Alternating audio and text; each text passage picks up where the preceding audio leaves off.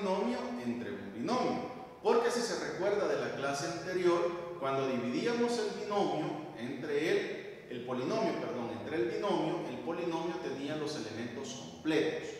Pero ¿qué sucede cuando aplicamos la división sintética y hace falta un elemento? Pues al igual que en la división larga, ¿verdad? O en polinomio entre polinomio que dejábamos el espacio, aquí los espacios los vamos a rellenar con ceros.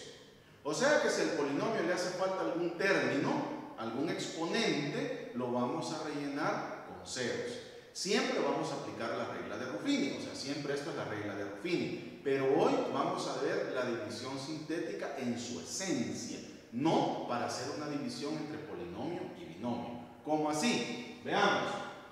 Por ejemplo, nos dice dividir 2m cubo menos 4m menos 2 entre m más 1. Si usted se fija, m cubo, falta m cuadrado, no está, está m y el término independiente. Siempre vamos a escoger los coeficientes de las letras.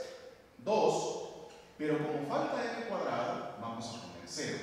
Menos 4 y menos 2. Y siempre, aquí el positivo, aquí lo vamos a ocupar negativo. ¿Ok?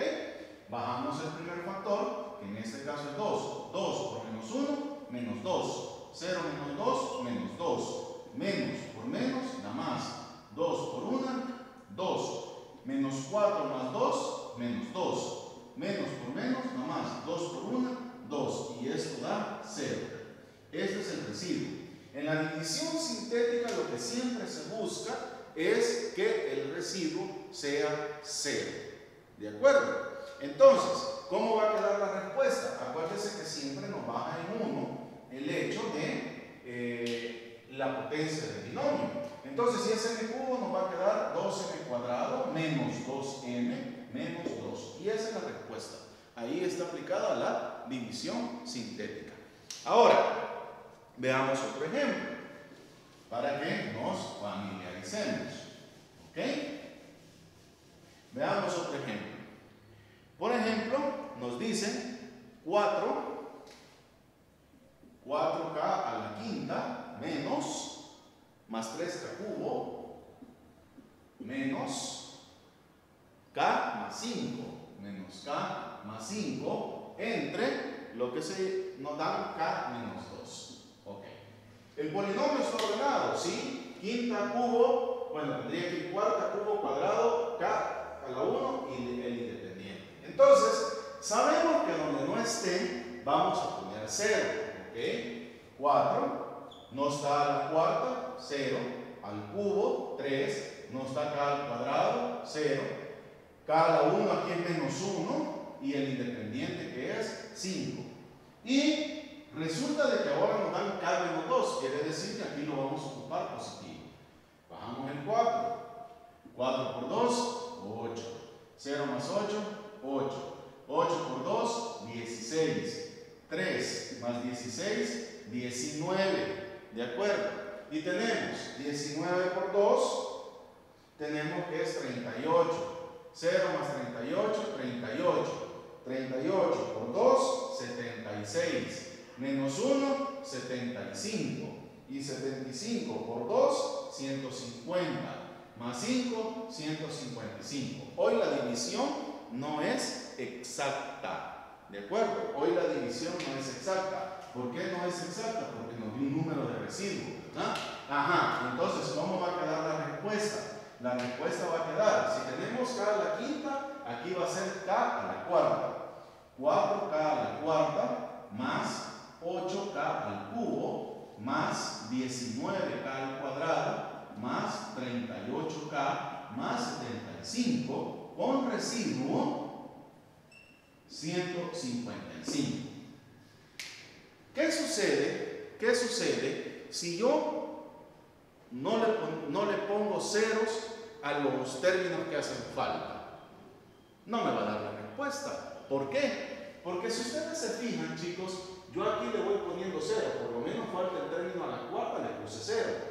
Falta el término al cuadrado, le puse cero. Pero si usted se fija, en la respuesta y a la hora de hacer la división sintética aparece K a la cuarta, k al cubo, k cuadrado. K y el independiente. Quiere decir que al final de aplicar la división sintética, cuando vamos poniendo ceros en aquellos términos que no hay, nos da el polinomio completo. Veamos por ejemplo. Nos dicen, mire, dividir m cubo más m cubo más 3m cuadrado, m cubo más 3m cuadrado menos 6 entre m más 3. Ok, el polinomio es ordenado, falta el término lineal que es m. Agarramos los coeficientes, aquí es 1, 3, no está m, 0, menos 6. Como es positivo, aquí lo voy a ocupar negativo. Bajo el 1. 1 por menos 3, menos 3. Menos 3, 3 menos 3, 0. 0 por menos 3, 0. 0 más 0, 0. 0 por menos 3, 0. Menos 6 más 0, menos 6. Entonces, este, este de aquí es el residuo.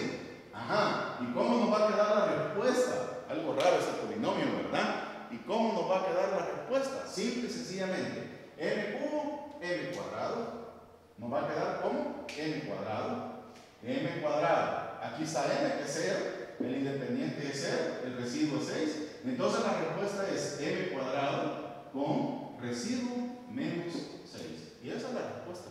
Simple y sencillamente. Pero si usted se fija, eso es lo que quiero llegar, que le explicaba hace un momento. Si usted se fija, están todos los términos del polinomio. m cuadrado, m el independiente. Aunque en este caso viene un 0, ¿de acuerdo? Esta es la esencia de la división sintética o de la regla de Ruffini. En el tema anterior, que es el video anterior de la clase, ahí lo ocupábamos para hacer una división. Ahora ya aprendimos que en la división sintética, cuando falta algún término, hay que ponerle cero, ¿de acuerdo? Ok chicos, el video lo pueden pausar, lo pueden volver a ver. En la reunión de Zoom, a aclarar dudas y a la parte práctica. Cuídense y nos vemos en el siguiente de martes.